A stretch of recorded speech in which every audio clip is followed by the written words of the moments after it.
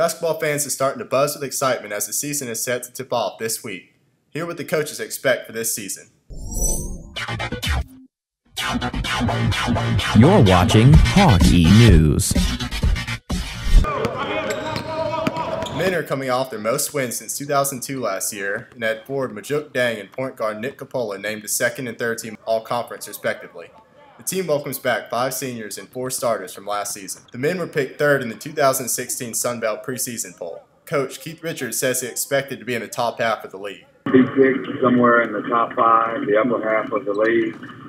Uh, being picked third, uh, probably about right for us for, the, for a preseason pick. Passing it to the women, the team is coming off their best year since the 2010 to 2011 season. Coach Dow says he feels confident going into this season.